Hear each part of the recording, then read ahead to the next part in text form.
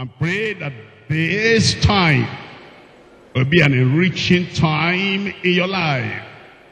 That the Lord himself will speak to your heart.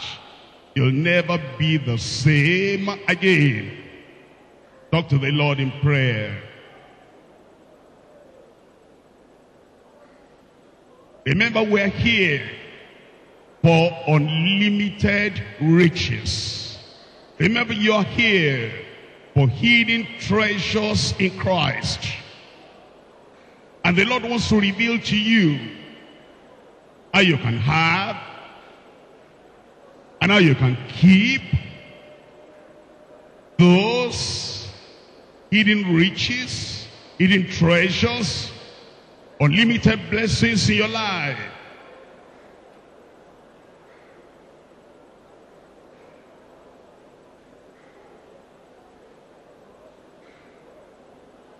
Also shows the way, a way that leads to those riches, the path that leads to the treasure that God has provided, provided in Christ.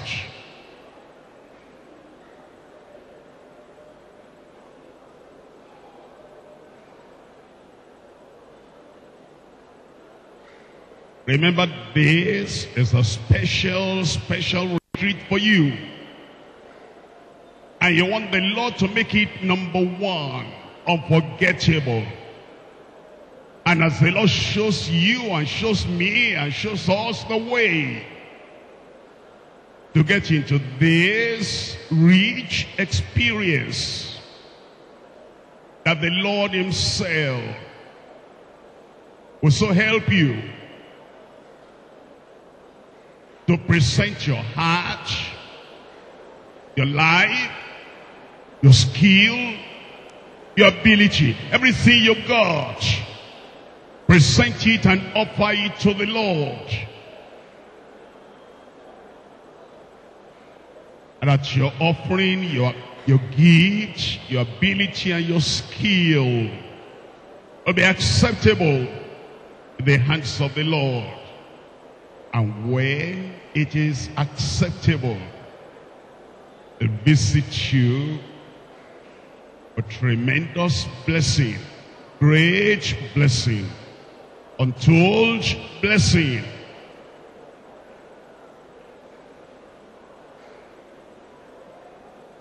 Pray that as God is blessing you here, He also be blessing all our brothers and sisters in all other locations where we're gathered.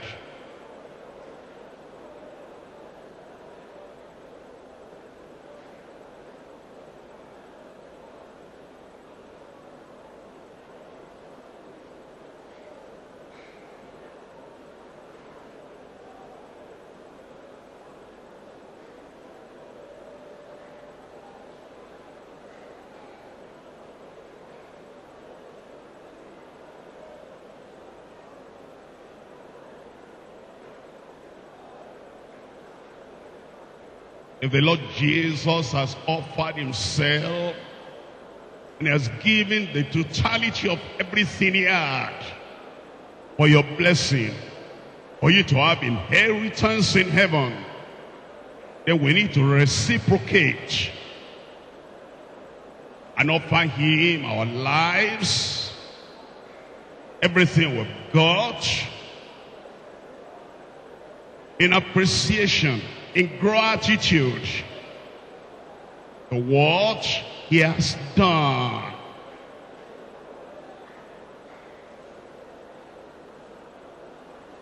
That's part of our thanksgiving.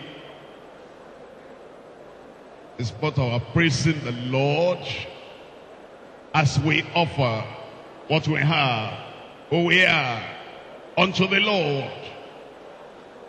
In return, for what he has given unto us.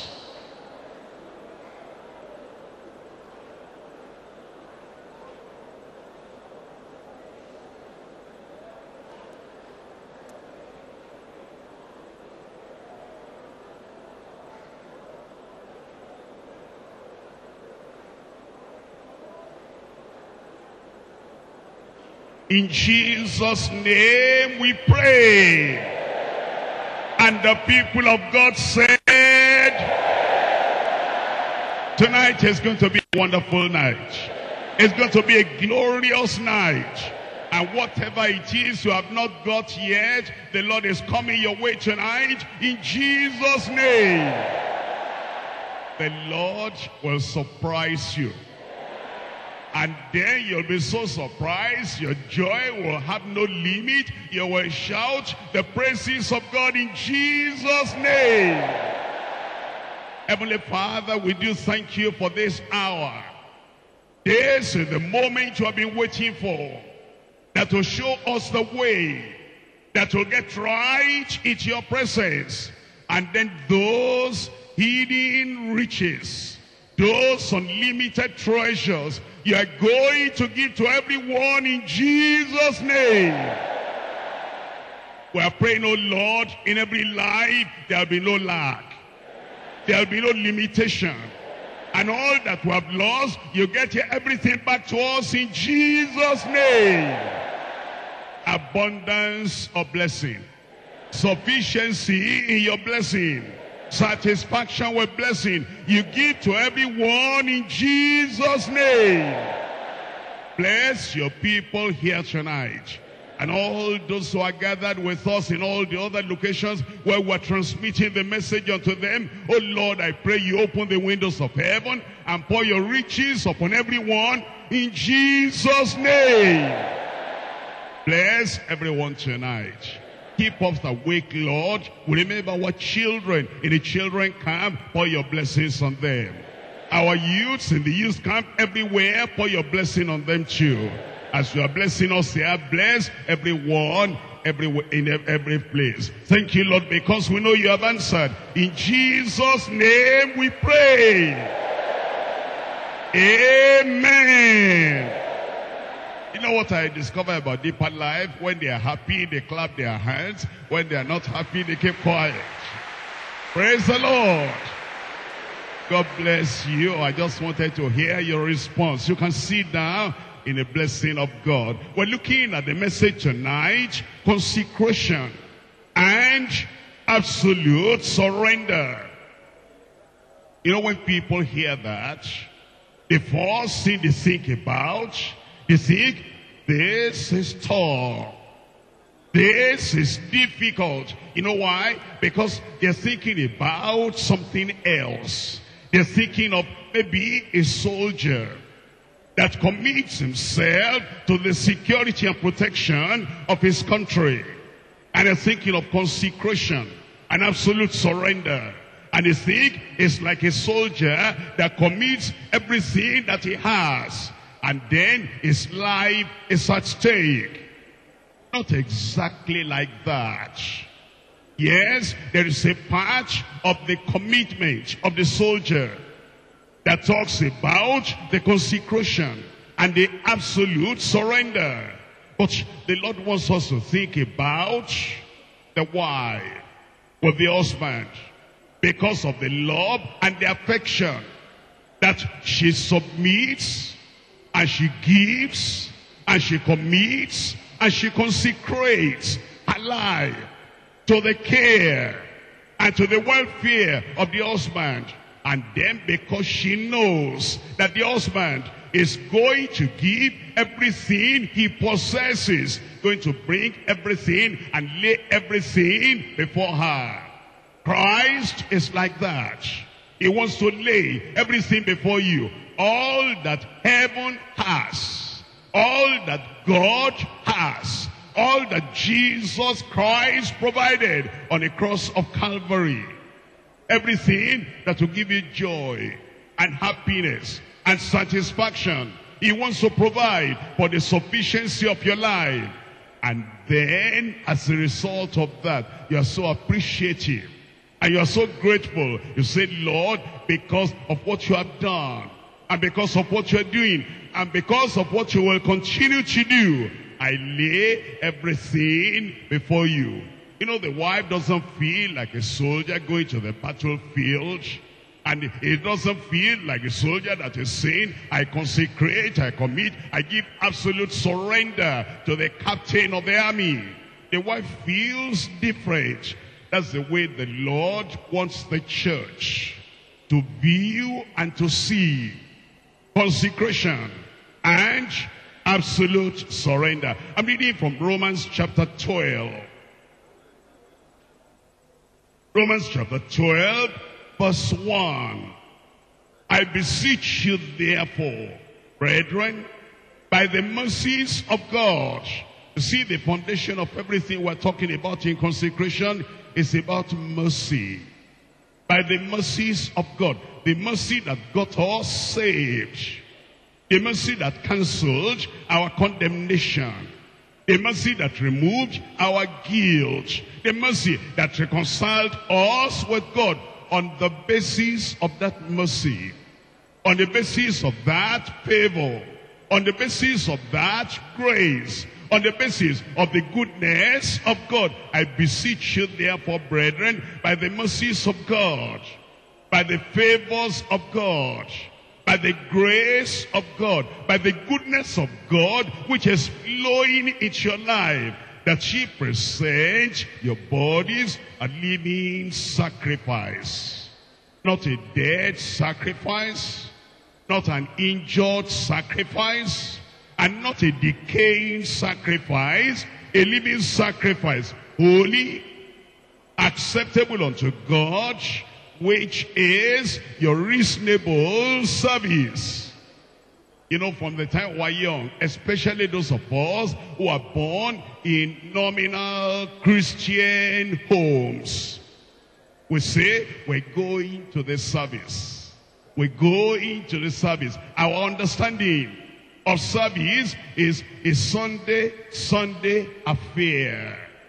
And then when Sunday comes, we say, today is the day for our service. And then we didn't think, I never thought when I was young, that Monday through Saturday, we're still going to be offering our service to the Lord. But now the Lord is reminding us that this is not a Sunday, Sunday affair is for all our lives. If you're a brother, if you're a sister, if you're a child of God, if you're a member of the family of God, it says, this is your reasonable service. That means then there is unreasonable service. Unreasonable service. A service that has no reason for offering age. When somebody doesn't know the mercy of God, the grace of God, the love of God, the salvation of God, the reconciliation we have with God, he doesn't have a reason to offer a service to the Lord. And therefore, a service that has no reason is unreasonable. But when somebody says, I praise the Lord, I'm saved. I praise the Lord. I'm born again. I praise the Lord for his grace, his goodness, his favor, his mercy unmerited. Then he has a reason. He has a reason to come and offer a service unto the Lord. And you can tell, you can tell, you can tell the difference between somebody that has a reason for offering a service to the Lord and the person that doesn't have a reason for serving the Lord. The one who is born again has a reason. The one whose hope is in heaven, he has a reason. The one who has his name in the book of life, he has his reason. And because of that, he comes to offer a reasonable service unto the Lord. And be not conformed unto this world be not conformed unto this world. What they say there, but be transformed by the renewing of your mind, that she may prove what is that good and acceptable and perfect will of God. You will know it and you'll prove it. And this blessing of consecration and absolute surrender will be yours in Jesus' name. I divide the message to three parts. Number one, blameless and acceptable sacrifice to the Lord. Blameless and acceptable sacrifice unto the Lord. If the service is going to be acceptable, if the consecration is going to be acceptable, if the surrender is going to be acceptable, if the activity is going to be acceptable, it must be blameless. You cannot come and offer something to the Lord that has been eaten by worms and termites. You cannot come and offer something to the Lord that is decaying and defiled. If it's going to be accepted by the Lord, it will be blameless. Point number one, blameless and acceptable sacrifice to the Lord. Number two, blessed and absolute surrender to the Lord. You know, when you're thinking about the blessings of God, it's like you think about a river. In fact, Ezekiel 47 uses that language. You get to the shore. And you don't know too much about the blessings of God when you are at the shore. And then you are, you are treading carefully, cautiously at the shore of the river. And the river gets to your ankle. Then you go on and it gets to your knee. And then it gets to your waist. And then when you move on into the very depths of the sea. And you abandon yourself into the sea. And you give yourself into the sea. And you give an absolute surrender into the ocean of God's love. That's when you know the real blessing of the Lord. It covers you from without and it overwhelms you from within. The blessed and the absolute surrender to the Lord. Number three, biblical and approved service to the Lord. Biblical. If it is not scriptural, not biblical, it's not going to be approved of the Lord. A person cannot just come and say, I'm offering this to the Lord. We must ask the question, is it biblical? Is it scriptural? Is it ordained of God in the scriptures? Only then will it be approved unto the Lord. Number one, blameless and acceptable sacrifice unto the Lord. Let's come back to that Romans chapter 12. Romans chapter 12. I beseech you therefore, brethren, by the mercies of God that ye present what? What's it? Tell me out loud. Your bodies, you present your bodies unto the Lord. And it says, as a living sacrifice, holy, acceptable unto God, which is your reasonable service. It talks about our body here. And it says, we'll present that body unto the Lord. You know, there are some people that they never, never, never think about that. That's our body.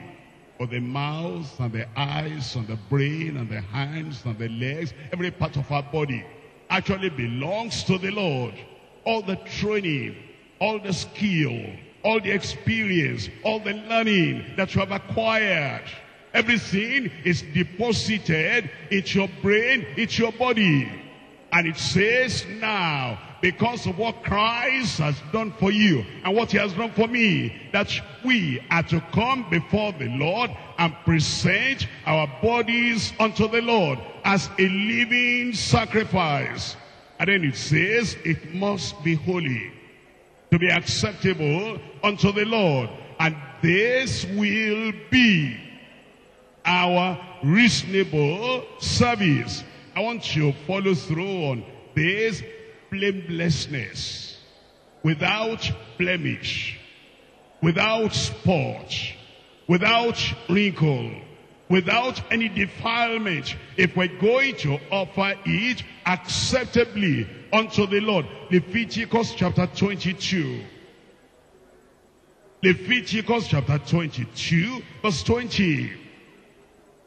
But whatsoever has a blemish, that shall ye not offer, for it shall not be acceptable for you. Can you see that? as you come, as we talk about consecration, and we talk about absolute surrender, the Lord is telling us, number one, examine what you want to offer. Evaluate what you want to offer. Look very closely and critically and scrutinize what you want to offer unto the Lord.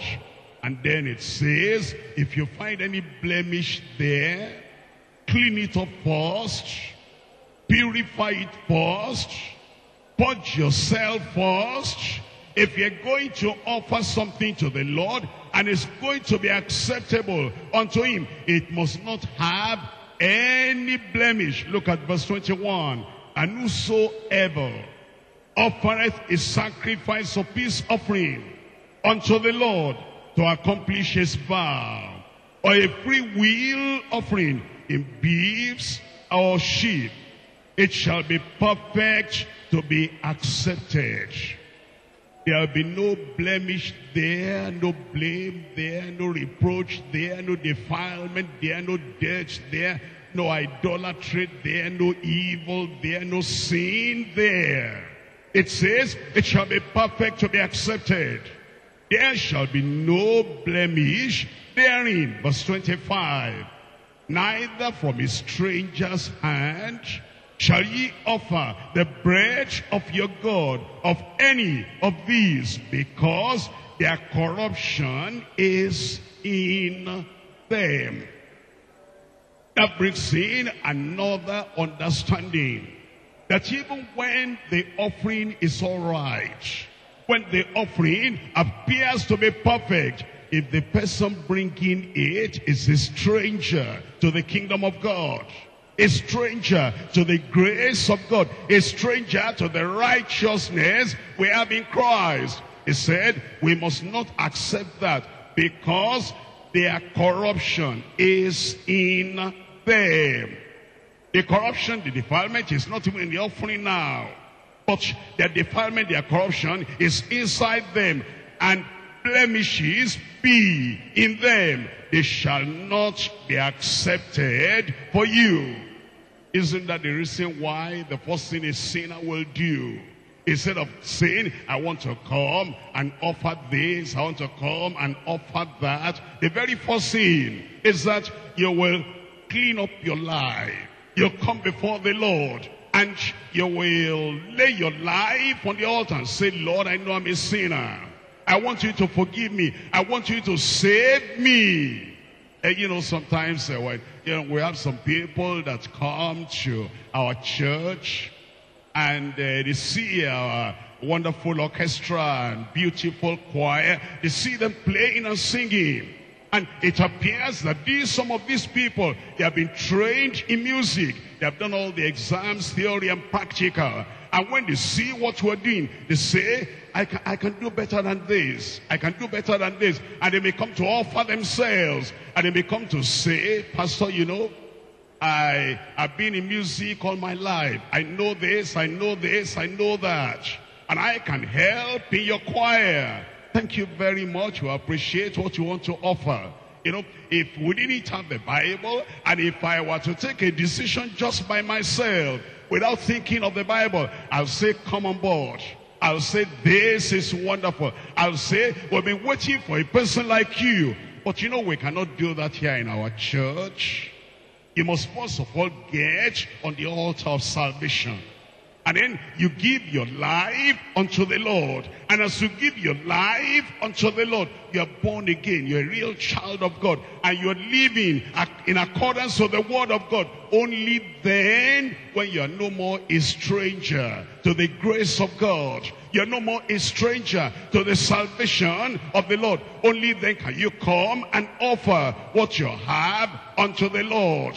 Look at that verse 25 again. Neither from a stranger's hand shall ye offer the bread of your God of any of these, because their corruption is in them, and blemishes be in them. They shall not be accepted for you. Deuteronomy chapter 17. Deuteronomy chapter 17, I'm reading from verse 1. In Deuteronomy chapter 17 verse 1, Thou shalt not sacrifice unto the Lord thy God any bullock or sheep wherein is blemish. Thou shalt not offer to the Lord, sacrifice to the Lord, anything, any bullock, any sheep, any animal, any gift, whatever has a blemish or any ill-favoredness. For that is an abomination unto the Lord thy God. That tells us then, if the Lord is going to accept our sacrifice, I pray the Lord will accept your sacrifice. That first of all, we go to Calvary. And we visit Calvary, we repent of our sins. We believe on the Lord Jesus Christ, our sins are taken away. We're born again. We're children of God. And then because we're cleansed and purified by the blood of the Lamb, then we can come and say, Lord, in appreciation for the mercy and the favor that was shown unto me, I come to offer this unto you. We're looking at Psalm 50. Psalm 50, I'm reading from verse 5. Psalm 50 verse 5, gather my what?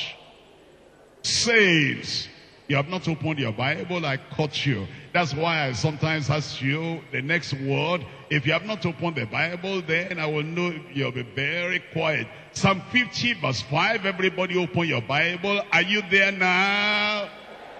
Now we're going, I'm going to test you. Gather my my saints, my saints. You see, those are the people that have been cleansed by the blood of the Lamb and the favor of God and the mercy of God and the forgiveness of God has come to them. And the Lord said, I'm interested in those people. They are my children. Holy children of God, faithful children of God, obedient children of God. Gather my saints together unto me. Those that have made a covenant with me by sacrifice. Let's see something now. It's surprising. Verse 16 but unto the wicked. God said, What hast thou to do to declare my statutes? Think about that. God said in verse 5, Gather them together, my saints, the people who are cleansed, the people who are washed, and the people who are found to me acceptable sacrifice. And then now, some people also, they want to be with those saints. But their sins have not been taken away. They also, they say, I also have something to offer.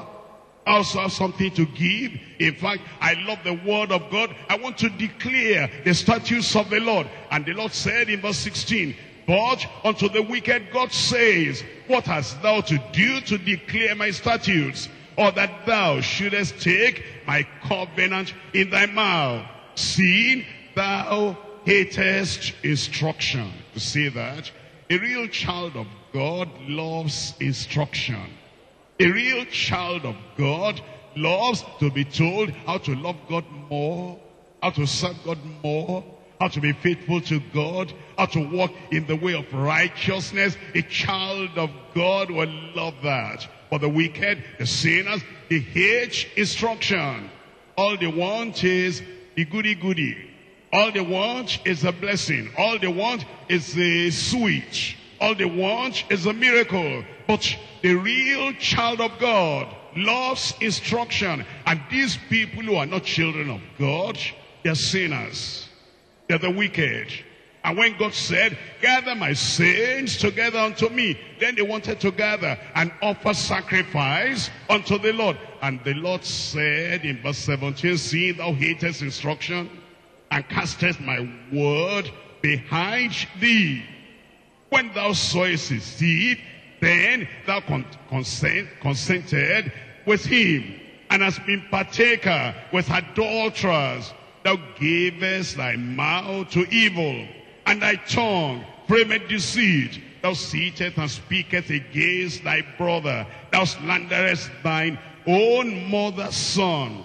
These things hast thou done and I kept silence.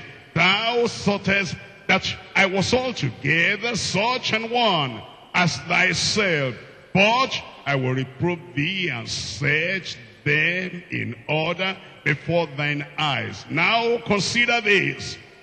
Ye that forget God, lest I tear you in pieces, and there be none to deliver. That tells us then, as we want to talk, as we're talking about consecration, and we're talking about absolute surrender. This, especially for the children of God, and if you're a child of God, I rejoice with you. I said I rejoice with you. The Lord will accept your sacrifice. The Lord will accept your offering, what you bring unto the Lord. I'm looking at Philippians chapter 2. Philippians chapter 2. We're looking at verse 14. Do all things without murmurings and disputings. Here the Lord is saying, yes, you'll sacrifice, yes, you'll offer unto me. If I'm going to accept it, there'll be no murmuring and complaining. You know, there are some people, we have to do this again. We have to offer this again. We have to give this again. They're calling us again. And we have to come and surrender something to the Lord again. God says, keep what you have. He's not interested in the gift, in the offering, in the sacrifice, in the service of the people that murmur. If we're going to give something to the Lord, acceptable to the Lord, See what Jesus did for us. He gave his life without murmuring. And he gave his blood, his very blood. He died on the cross without complaining. He knew he was going to do this. He went, he went to the cross joyfully knowing that he was going to pay for the salvation of the whole of humanity. He wasn't grumbling. Why do I have to do this? He wasn't murmuring, why do I have to do this? And he wasn't kind of complaining to God, why do I have to do this? He did it willingly. If the Lord has given his life for you, for me, for us, willingly, cheerfully, wholeheartedly. He said, in the bottom of the books it is written of me, Lo, I come to do thy will, O God. If the Lord Jesus said that and he sacrificed himself joyfully, cheerfully, happily, and willingly, then with you when we come. And we come to offer ourselves unto the Lord. We do it cheerfully and willingly. Do all things without murmurings and without disputings, that she may be blameless and harmless, the sons of God, without rebuke, in the midst of a crooked and perverse nation, among whom ye shine as lights in the world, holding forth the word of life, that I may rejoice in the day of Christ, that I have not run in vain, neither labored in vain. We will not labor in vain. We will not run in vain. The Lord has called us and the Lord has shown mercy unto us. We're going to reciprocate and we're going to thank the Lord with our gifts and our sacrifice, consecrating our lives to the Lord, our talents to the Lord. And we're going to receive the reward in Jesus' name. Second Corinthians chapter 8. Second Corinthians chapter 8. Verse 5. And this they did, not as we hoped, but first gave their own selves to the Lord. First of all, they gave themselves to the Lord. Have you ever done that? You know, we can do it in a general way. I'm talking about being very specific. Being very specific. And there are, I've read about people that have done it in a very specific way. You know, somebody before he got converted, he used to write a lot. And he used to write novels and books and letters, a lot of things. And then he became converted. He knew that some of the things he had written, that they were not edifying, that they will pollute the young lives of our youth. And now when he became converted, he prayed specially, said, Lord, this hand, very skillful in writing, I come to present it unto you. It will only write from now on the only thing that is acceptable unto you, edifying to the people around me. I've heard of another person, he used to watch a lot of cinema. In those days, uh, there wasn't too much of television. It was cinema at that time. And every night, he will go to this and go to that and watch all those dirty, dirty films. Then he became converted. And he knew that he needed to consecrate specifically. And then he brought his eyes before the Lord. He said, Lord, I've seen a lot that came in through this window, that is through these eyes, and it polluted my mind, and it made me feel dirty. Now I consecrate my eyes unto you. I will only look at things that will bring glory unto you. I've read of other people that used to walk about a lot, walk about a lot. They walk here and walk here and walk everywhere. But then they became converted. And in a very specific way, they consecrated their feet unto the Lord. Shouldn't we learn from those our brothers and sisters who have done that? That you come before the Lord and you commit yourself, your very body, and say, Lord, from now on, this my mouth, I consecrate unto you.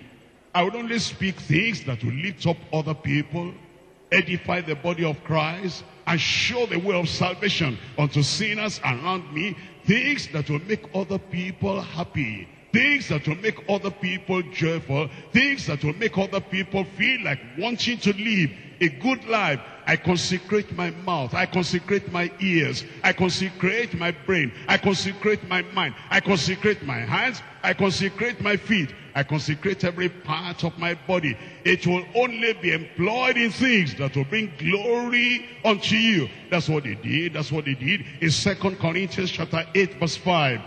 This they did, not as we hold. Paul the apostle said, they even went beyond our expectation, our hope. First, they gave their own selves to the Lord and unto us unto us by the will of God. That's real service unto the Lord. I pray God will help you. I say God will help you.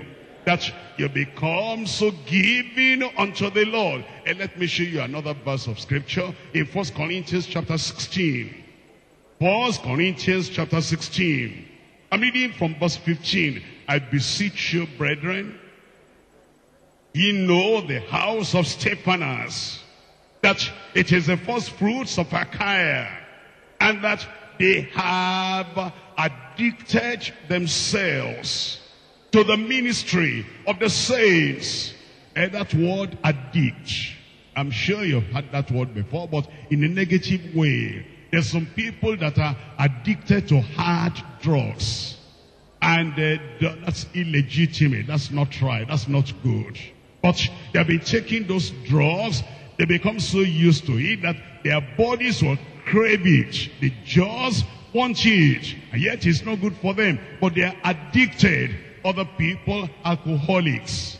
They are addicted to alcohol. Other people are addicted to other things. But these people, they took that word which other people employ negatively and they now brushed it up and cleansed it and now they use it in their own life in a positive way. They said, we're going to addict ourselves, abandon ourselves, commit ourselves in an irreversible manner unto the ministry of the saints. That's what the Lord is expecting from you and from me. We'll do it in Jesus' name. Number one, blameless and acceptable sacrifice to the Lord. Number two, blessed and absolute surrender to the Lord. Blessed and absolute surrender unto the Lord. You know, if uh, you really trust the Lord, you'll be able to give yourself absolutely to the Lord. There'll be consecration without looking back, without making a kind of alternative arrangement. You will not say, well, I will follow the Lord at this time. I will give myself to the Lord at this time. But if situations become rough, if situation becomes unpredictable, and if I cannot manage myself anymore, then I'm going to withdraw what I've given to the Lord. And then have it, give it another, another personality or to another, in another direction. That person does not know God very well. God is no man's debtor. Whatever you give to the Lord, he will give you a hundredfold of it in Jesus' name. Blessed and absolute surrender unto the Lord. Let me show you an example in 1 Samuel chapter 1. 1 Samuel chapter 1. I'm reading from verse 11. 1 Samuel chapter 1 verse 11. And she vowed a vow. That means she made a consecration. That means she gave something to the Lord. Listen now, listen now. She had not got the child yet. She had not received it yet. And yet she is offering it unto the Lord. And she had no child. This is Anna. And she had been thinking and desiring and dreaming and wanting to have a child. And the child was not there yet. And yet she said, Oh Lord, I'm going to commit this unto you. It's like somebody who doesn't have a job yet. And doesn't earn any salary yet. And he's praying and he said, Lord, I've heard about consecration tonight. I've heard about absolute surrender tonight. I wish I had money and I will offer everything unto you. All right, I don't have, but Lord, when I have, I consecrate it unto you ahead of time. I hear some of these preachers, and then they quote the Bible, they preach here and there, oh Lord, I'm a newcomer. I'm just here. And when I see those people, like our brother in the afternoon, answering question, oh, I want to know the Bible. Lord, I don't know the Bible yet, but Lord, if you can give me the intelligence to study the Bible and know the Bible like these people, I offer my voice unto you. Maybe you are there in the congregation as you saw those instrumentalists and the, you know, pulling those strings and blowing those trumpets. And then you said, this is wonderful. I never had any music like this in my life. Lord, I, I wish I knew music. All right, I don't know music, but Lord, before I know it, I'm going to offer my voice and talent unto you. Don't wait until you have. Before you offer it to the Lord. Before you have it, that's the glory of real surrender, of absolute surrender unto the Lord. Some people, they wait too late and they wait too long. They say, well, I don't have anything now. I don't want to pray now about giving this to God and giving this to God. How can a poor man, a penniless man, a man that has nothing, how can he offer anything to the Lord? Come and offer it before you have it and God will bless you. I said, God will bless you. Look at verse 11. And she vowed a vow and said, O Lord of hosts, if thou wilt indeed look on the affliction of thine handmaid and remember me and not forget thine handmaid and will give unto thine handmaid a man child. Then I will give him unto the Lord and there shall no razor come upon his head. I'm sure you know what um, Anna had gone through. Peninnah had been ridiculing her. And then she will cry and cry and cry. A person like that, you'll think, if you have a child, then you hold on to that child, you'll embrace that child, you will keep that child. You not want that child to go anywhere, but not Anna. Anna said, I don't have yet, but when I have, I'm going to offer him unto the Lord. And thank God for Samuel himself. When Samuel was born, mommy said, Samuel, you know what? I've offered you to the Lord before you were even conceived. And Samuel said, Mama, that's all right. I accept. And both mother and child, they carried out the vow, the consecration, absolute surrender unto the Lord. And Anna gave that child totally unto the Lord. And the Lord bless her, and the Lord will bless you. I said the Lord will bless you. Because when you give to the Lord like that, he will multiply what you give. And then he will give a lot of other things unto you. I'm reading chapter 2 of 1 Samuel. 1 Samuel chapter 2, verse 20 and verse 21. And Eli blessed Elkanah and his wife, that's Anna, and said, The Lord give thee seed of this woman for the loan which is lent to the Lord. When she brought Samuel to the house of the Lord and said, I opened my mouth to the Lord. I promised the Lord, I'm going to give this child unto the Lord. I've come to give the child. And then Eli blessed her.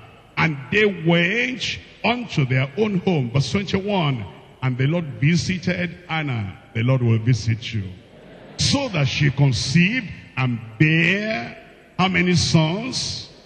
Three sons. And how many daughters? Two daughters. How many children altogether? Five. She gave one child to the Lord. And the Lord gave her back five children. And the child Samuel grew before the Lord. There is blessing. When you give something to the Lord, absolutely. You know the heart of a, of a mother will yearn upon an only child. Upon such a gifted child. Upon such an obedient child. Upon such a child that brought joy into our life. And yet, even though Samuel brought joy into the heart, into the life of Anna. She gave that child unto the Lord.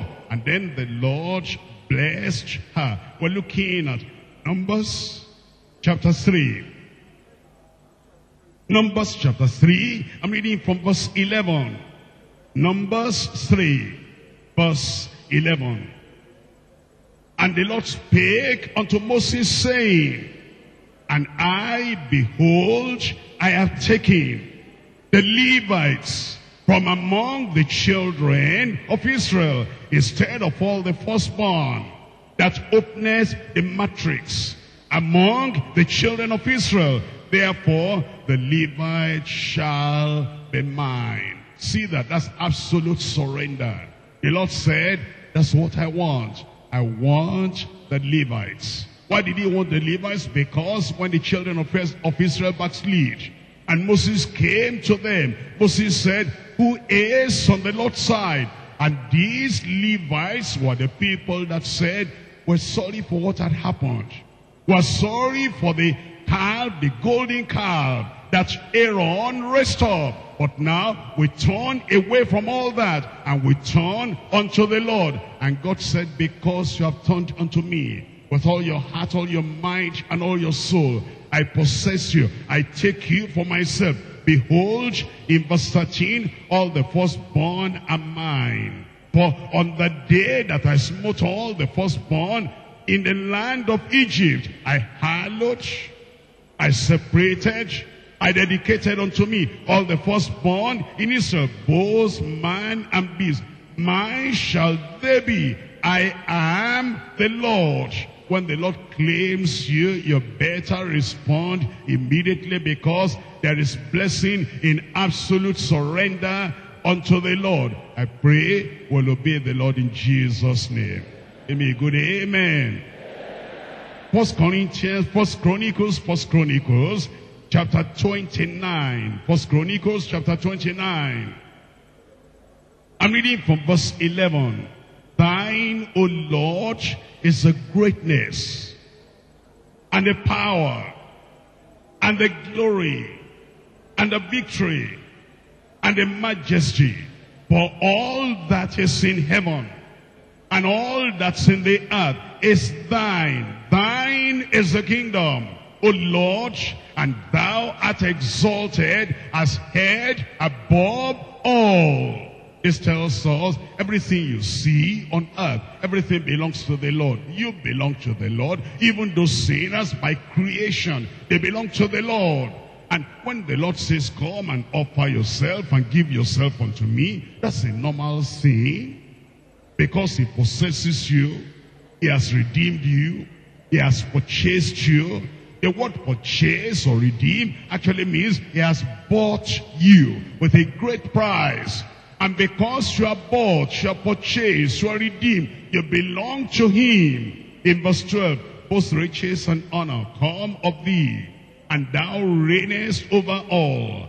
and in thy hand is power and might, and in thine hand it is to make great and to give strength unto all. If you are great, praise the Lord, that came from God. If you are rich, praise the Lord, that came from the Almighty God. In verse 13 now, therefore, our God, we thank thee and praise thy glorious name. But who am I? And what is my people that we should be able to offer so willingly after this sort? For all that all things come of thee, and of thine own have we given thee. Of thine own have we given thee.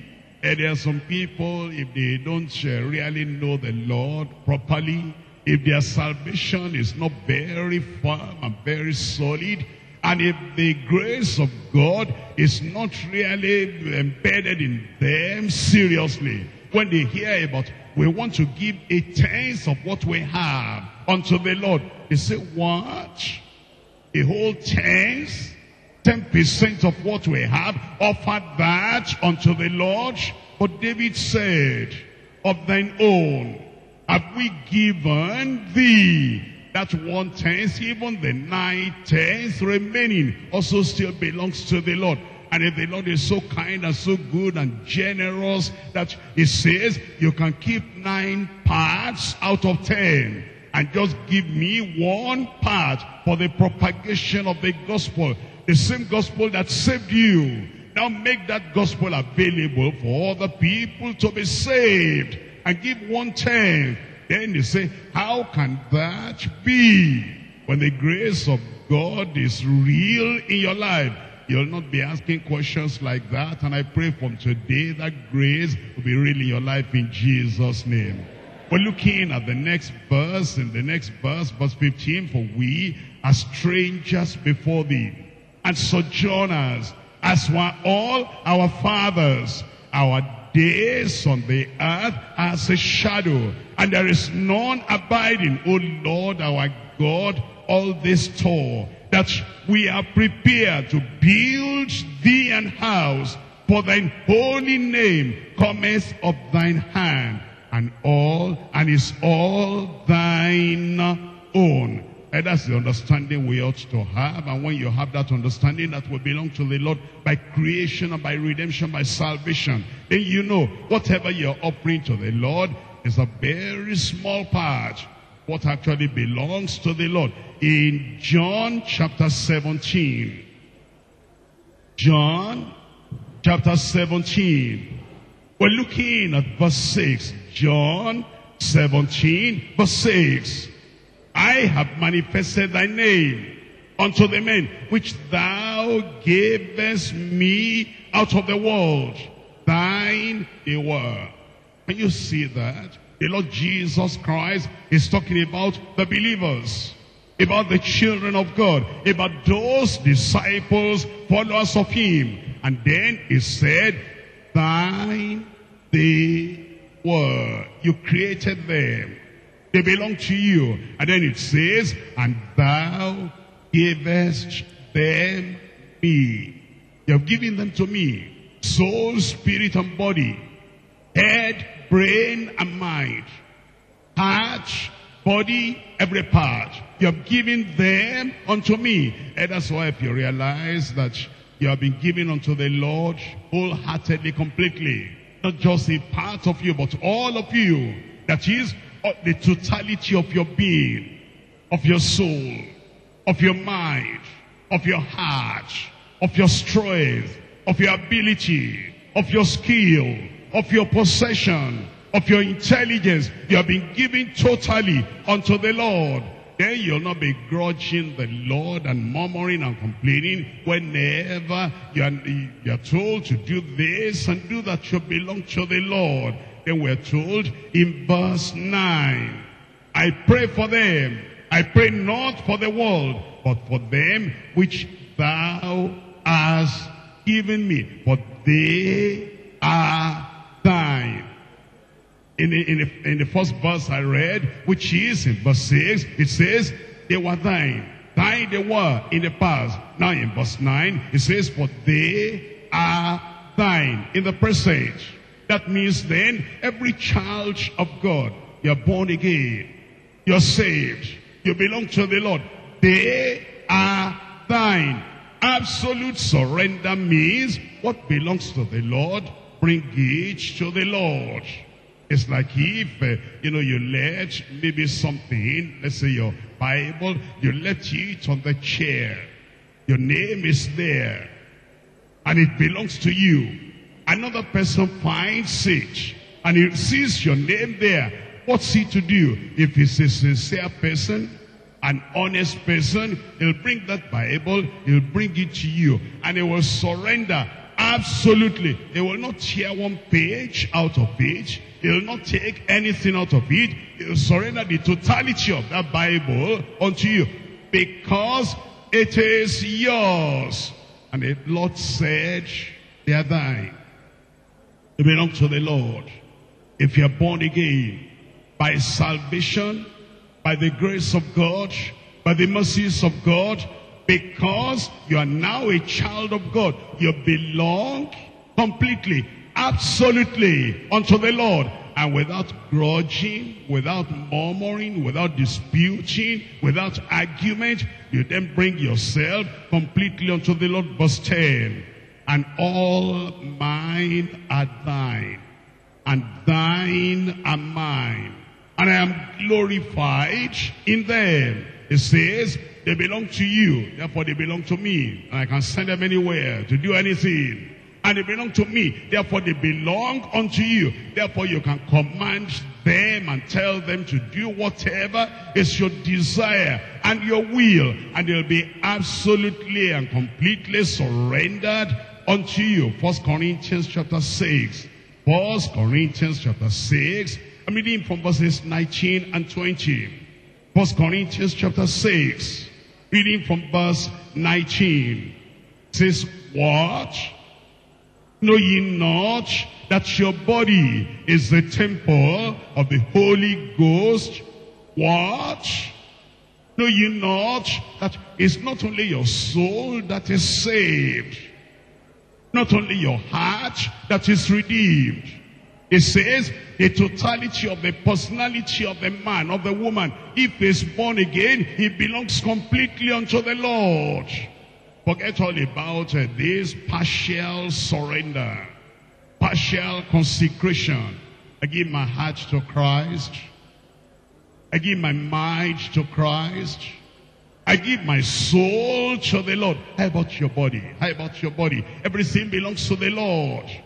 The strength you have, the ability you have, the energy you have. You're not going to spend all your energy running after the things of the world. You come to absolutely, absolutely, absolutely surrender completely unto the Lord. In that verse 19, what? Paul exclaimed because he was surprised. He saw those Corinthian believers and they were living their lives. And their lives were like not totally laid upon the altar. And Paul the apostle in his surprise, he exclaimed and he said, don't you know Know ye not that your body is a temple of the Holy Ghost? I'm sure you've seen some of these uh, so-called Christians. And some of them will make different tattoos on their body.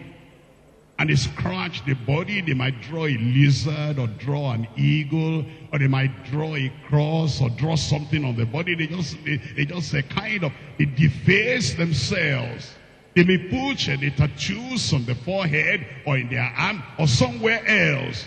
And if you say, are you born again? Of course I'm born again. Did you do this before you were born again? No, I did it recently.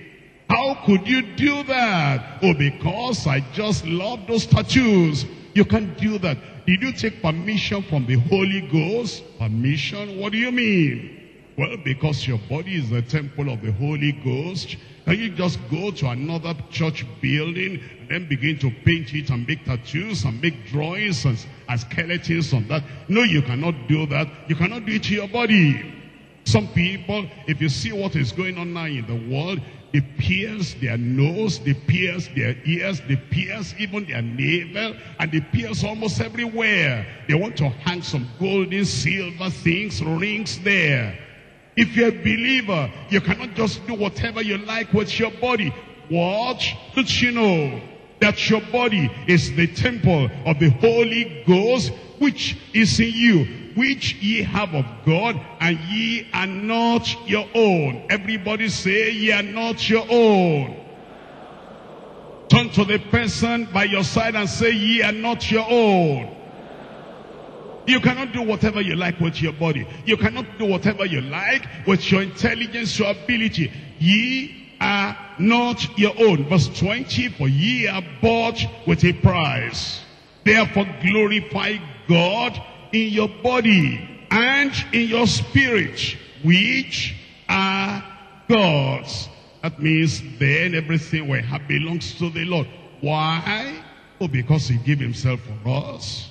And because he wasn't a kind of stingy with his life. He gave it all. All his blood. He gave it all. Everything he had for our salvation, for redemption. He gave it all. In Second Corinthians chapter 5. Second Corinthians chapter 5. I'm reading from verse, from verse 14. For the love of God constraineth us. Because we thus judge that if one died for all, then we're all dead. And that he died for all. That they which live should not henceforth live unto themselves, but unto him which died for them and rose again. It says now we're to live only for the Lord because he died for us, he rose again for justification, for righteousness, for salvation, for sanctification. Because he gave all that to us without grudging, without murmuring, without complaining. We choose to reciprocate. We give ourselves unto the Lord. Everything we have got for the rest of our lives. In Malachi chapter 3. Malachi chapter 3. I'm reading from verse 8. Will a man rob God? The children of Israel, they were robbing God in paying their tithes. But now the Lord is going beyond that in the New Testament. In the New Testament, I just read to you that our body belongs to the Lord. All the knowledge we have inside this body belongs to the Lord. All the training we have inside this body belongs to the Lord. All the intelligence we have inside this body belongs to the Lord. And if the Lord is saying, I need this, I need this. Look at this, for example. This auditorium where we are. And you know, the, the poles you see there, those poles will not come from the factory by themselves. Somebody has to bring the poles here. And we're not just talking about money. Money can buy the poles. It takes somebody to transport the poles here. And then when the poles are transported here, it takes somebody to erect them and put them in place. And then it takes somebody to measure all that. All this roof, it takes somebody to do it.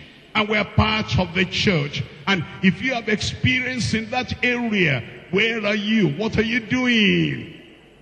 Because we belong to the Lord. And if you're not giving your time to the Lord, your expertise, your experience, your training, your skill unto the Lord, you are robbing God. Will a man rob God? It's not just tithes and offering. It goes beyond tithes and offering. And then you see all that is going on. Uh, that program you have in your hand, that paper, it took some people to print that. You know, it will not preach itself. Somebody has to preach it. And if you know how to preach, and then you're not offering yourselves, so that I can do this, I can do that, we wouldn't know this is a large crowd. How would I know those who are printers there? How would I know those who are into electronics there? How would I know those who are into electricity and all those things there? But it's when you know, this is my skill. And I want to offer myself unto the Lord. Will a man rob God? Yet ye have robbed me. But ye say, Wherein have we robbed thee? In tithes and offering. In their own case, that was what they robbed God of. Maybe you are paying your tithes and say, I'm not robbing God, I'm not robbing God. How about all the other things you have that God needs in the house of God? Every other thing you have that God is saying, can't you do this? Can't you do that? Can't you give your time, your talent, your skill, your ability, communication? You know, some people can communicate better than we can do. And they just sit at the back there. Bring out that your communication skill and come and publicize the gospel and proclaim the gospel and preach the gospel to every creature around you. And then it says, I don't want to read verse 9 because it's talking about those children of Israel. It said they were cursed. I pray we will not be cursed. I said, you will not be cursed. Verse 10, now bring ye all tithes, all the tithes into the storehouse, that there may be meat in mine house. And prove me now, herewith says the Lord of hosts, if I will not open you the windows of heaven, the windows of heaven, I bow to be opened over you. And blessings will pour down. And miracles will pour down. All the needs of your life, of your family, will be met in Jesus' name. And he says, I'll pour you out a blessing that there shall not be room enough to receive it. And I will rebuke the devourer for your sakes. I will rebuke the devourer for your sake. These are the verses we need in this time of economic downturn. In this, time, in this time of recession, the Lord is saying, if you will obey him at this time, and you bring everything that you have, your tithes and offering, your body, your skill, your mind, and your ability. You bring it to the Lord. The famine that is going all over the world will not reach your house, will not reach your business, I will not reach you anywhere you are. You'll be having the abundance of the Lord in Jesus' name. And I will rebuke the devourer for your sakes, and he shall not destroy the fruit of your ground. Neither shall your vine cast her fruit before the time in the field, says the Lord. And all nations shall call you what? Blessed, for ye shall be a delightsome land, says the Lord of hosts. Point number three, biblical and approved sacrifice to the Lord. Biblical and approved sacrifice to the Lord. The Lord is expecting us that we look at the word of God and see what is scriptural, what is biblical, what we offer unto the Lord. We're looking at Deuteronomy chapter 10. Deuteronomy chapter 10. I'm reading from verse 12 and verse 13. And now Israel, what does the Lord thy God require of thee but to fear the Lord thy God, and to walk in all his ways, and to love him. You love God? I said you love God, you love him more in Jesus' name. And to serve the Lord thy God, and to serve the Lord thy God, and to serve the Lord thy God. You know what service is all about? You've been in our Sunday worship service, You've been at this retreat too. You've been born again now. Somebody there is born again for the last five years. What are you doing in the service of the Lord in the church? You've been born again now for 10 years, 12 years, 15 years. What are you doing in the service of the Lord in the church? Well, I appreciate the fact that you come to the Bible study every time. You come to the Sunday worship every time. I know you will not miss the revival hour anytime. That's praiseworthy. That's wonderful. We praise the Lord for you on that behalf. But how about serving the Lord? How about serving the Lord? How about doing something that you will say, this is my part in the house of the Lord. From this time, in a very definite, practical, visible, demonstrable way, you will serve the Lord in Jesus' name. Are, Don't say that, you know, other people are there already. Other people are doing it already.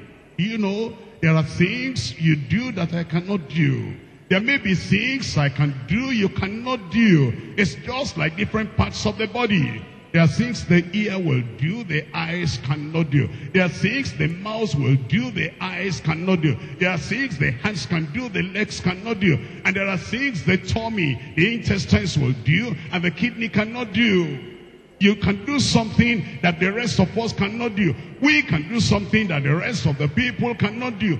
Bring your own part and bring your own contribution of your skill of your ability, of your intelligence, and of your training. Bring it to the Lord. You are born again. You are a child of God. And the Lord is saying, you will love the Lord. If you love him, you will serve him. In verse 13, to keep the commandments of the Lord and his statutes, which I command thee this day for thy good. The goodness of the Lord will come upon you in Jesus' name. We're looking at John chapter 12. John chapter 12. John chapter 12. We're looking at it from verse 24. Verily, verily I say unto you, except a corn of wheat fall into the ground and die, it abideth alone. But if it die, it bringeth forth much fruit. And this is the reason why some people cannot serve the Lord acceptably. They are not willing to die to self-esteem. They are not willing to die to self-recognition. They are not willing to die to self-exaltation. They are not willing to die to self-assertion. They think too much of who they are, what they have, and they think too much of their prestige and if, uh, you know, they go to a particular section of the work, and the person who is leading in that section of the work is not as talented as they are, is not as intelligent as they are, is not as experienced as they are. They say, how can this fellow be my leader when he's not as talented, as experienced, as educated as I am? Self is the problem. If we're going to serve the Lord, you, know some other people have been there before we came. And those people already, they have been chosen to lead those various sections. And you are just coming. Maybe your own time will come when you will lead any other section. But at this time now, if you will die to self, that's what it takes to serve the Lord. Look at it again in verse 25. Verily, verily, I say unto you, except a corn of wheat fall into the ground and die. It abideth alone. But if it die, it bringeth forth much fruit. The Lord is saying, if our service is going to be fruitful, acceptable, profitable in the kingdom, we must die to self. In verse 25, he that loveth his life shall lose it. And he that hateth his life in this world shall keep it unto life eternal. If any man serve me, let him follow me. If we're going to serve the Lord, we must follow the sacrifice of Christ, the example of Christ, the pattern of Christ. If any man serve me, let him follow me. And where I am, there shall also my servant be. If any man serve me, him will my Father honor. The honor of the Lord will come upon our lives in Jesus' name. Philippians chapter 2. Philippians chapter 2, how to serve the Lord. How to serve the Lord. Philippians chapter 2 verse 19. But I trust in the Lord Jesus to send Timotheus shortly unto you. You think about this, that Paul had not spoken to Timothy. He had not taken permission from Timothy. And he's already promising the Philippians, he's saying, very shortly you'll see Timothy, I'm going to send him to you. Paul, how could you talk like that so surely, so certainly? Oh, because I know the heart of Timothy. He serves the Lord. And he never thinks about himself. And he is dead to self. Self-exaltation, self-appreciation. and self-glorification, self-gratification, any self-assertion. Timothy had died to that. And therefore Paul, the apostle, could easily say, I trust in the Lord that I will send Timothy shortly unto you, that I also may be of good comfort when I know your state. For I have no man like-minded who will naturally care for your state. He said that Timothy, he has brought himself under leadership so much that he does it naturally. It has become second nature unto him. Second nature. He just does it as if he's not even expending any energy at all. He said that is who Timothy is, but you know the proof of him. For uh, that as a son with the father, as a son with the father, and not as a slave with eye service, not as a servant that when he's happy, then he'll do something great and something good. When he's not happy, when he has something to grind, and when he has something complaining about, and when he has something he's murmuring about, then he'll do a shoddy work. That's not Timothy. He said, you know the proof of him, that as a son with a father, he has served with me in the gospel. Him, therefore, I hope to send presently so soon as I shall see how it will go with me. But I trust in the Lord that I also myself shall come shortly. I pray that this same heart of Timothy, the Lord will give unto you.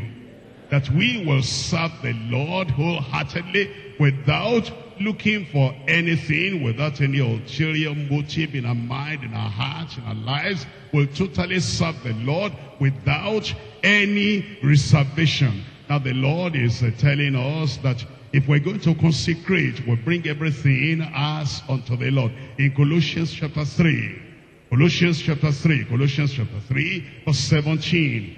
And whatsoever ye do, whatsoever ye do, small or great, momentarily at the retreat or permanently in our local churches, anytime, anywhere, everywhere, whatsoever ye do in word or deed, do all in the name of the Lord Jesus, giving thanks to God and the Father by him. Verse 23, and whatsoever ye do, do it how?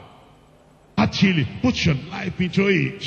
Put your heart into it. Put everything you've got into it. Don't serve the Lord half-heartedly. Don't serve the Lord sleeping on the work of the Lord. Whatsoever you do, do it heartily as to the Lord and not unto men, knowing that of the Lord.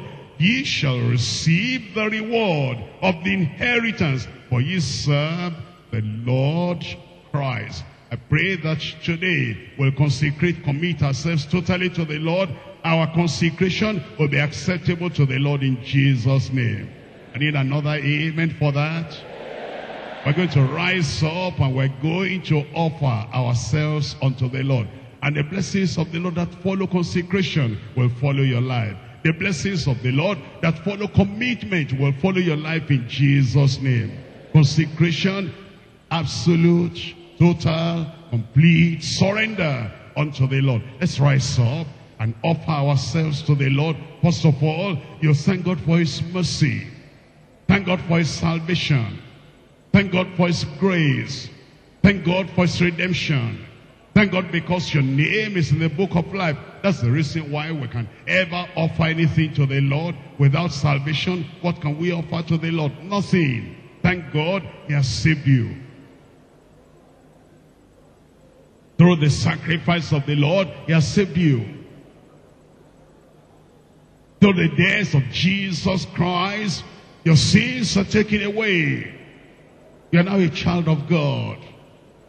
You belong to the Lord. Redeemed, purchased, bought by the blood of the Lamb. He has put your name in the book of life.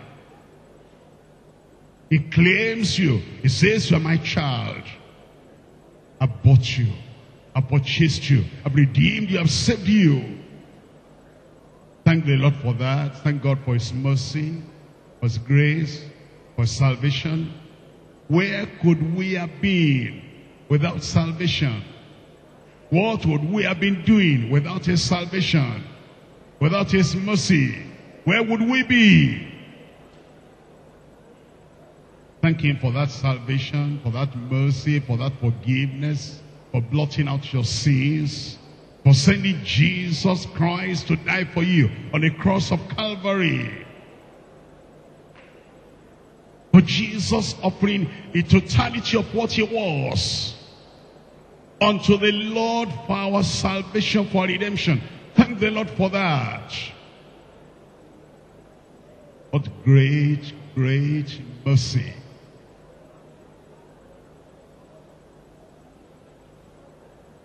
Rich in mercy, love, saved us. Praise the Lord for that.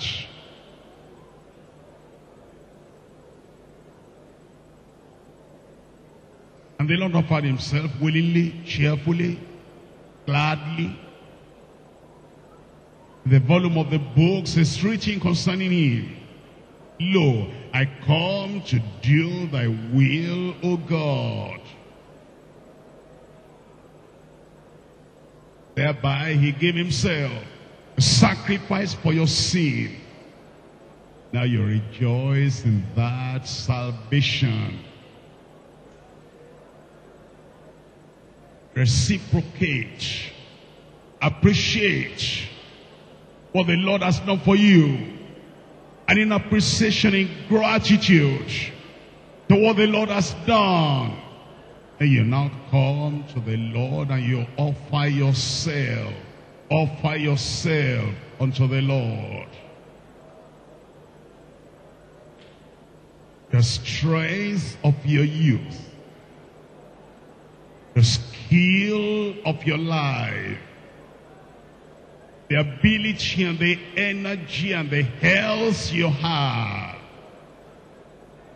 all the gifts of training and intelligence, offer that unto the Lord. Don't rob God. Don't steal from God. Everything in your care, everything in your hand, everything in your life, the Almighty God rightfully possesses. Offer yourself to the Lord.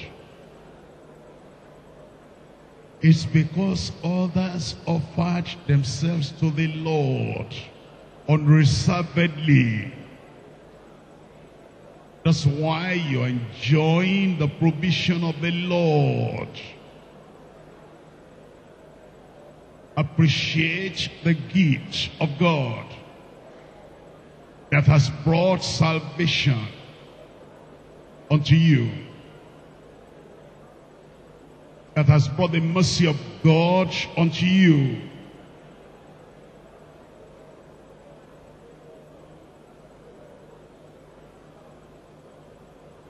If other people have held back what they had, the gospel will not have come to you.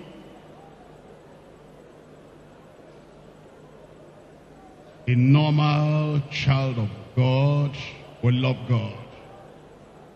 A normal child of God will serve God. A normal child of God will offer himself completely unto the Lord. Not to offer yourself to the Lord is abnormal. The normal thing, the right thing, the scriptural thing, the expected thing that you offer, heart, life, body, intelligence, skill, ability, experience, training, everything you've got, knowledge, lay at the feet of Christ. You make everything you have available to the Lord to use for his own glory. For the salvation of other people. for the expansion of the kingdom of God, for the exaltation of the name of the Lord.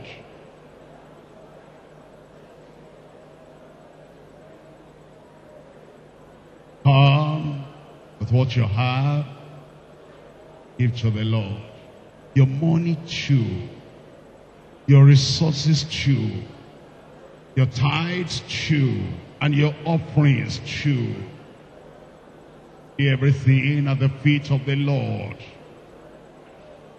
Without murmuring, without complaining, without grudging, be a real child of God.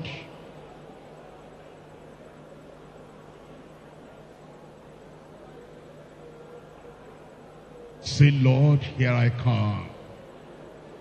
In appreciation of what you've done for me. Because you offered yourself for me. Because you gave yourself for my salvation. Lord, I too, I come. I too, I come. I offer, I give, I leave everything at the feet of the Lord Jesus Christ. For your glory, for your honor, for the spreading of the gospel. Anywhere, anytime, you call me. To do whatever it is you want me to do. Lord, my life is available. I will never say no to my God, to my Christ, my Savior, my Redeemer.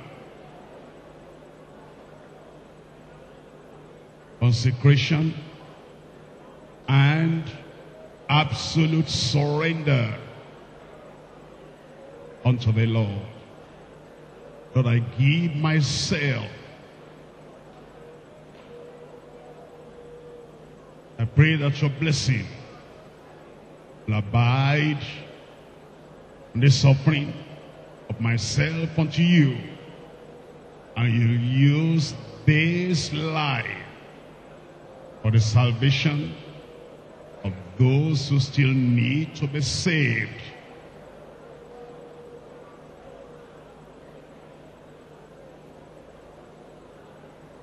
Don't hold back anything. Don't deny the Almighty God of what rightfully belongs to Him.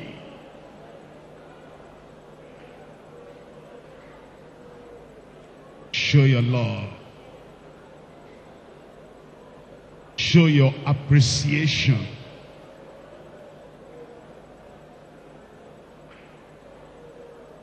Give of your very best unto the Lord.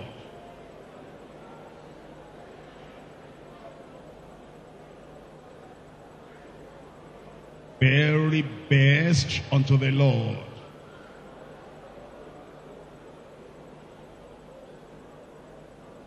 Very best unto the Lord.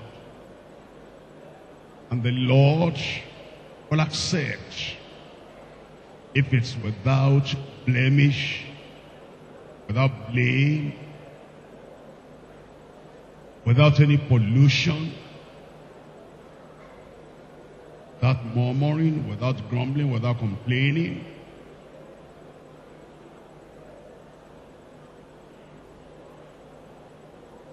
The Lord will multiply what you have given. Then he will bless your life. He promises to open the windows of heaven. When you give wholeheartedly, not only money, yes, money, yes, money, and skill, experience, and training, and ability, everything you've got, that the kingdom of God needs, he promises that he will reward you abundantly, multiply a hundredfold, give that back unto you.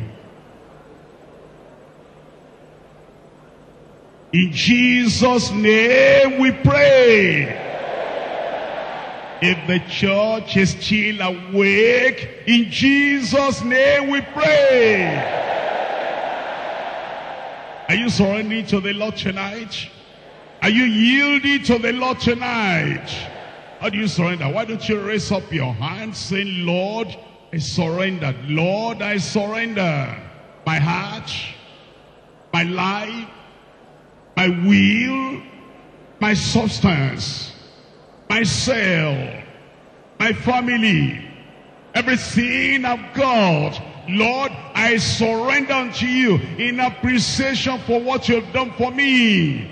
Father, in the name of Jesus, we thank you because you have opened our eyes to see tonight the secret of abundant blessing.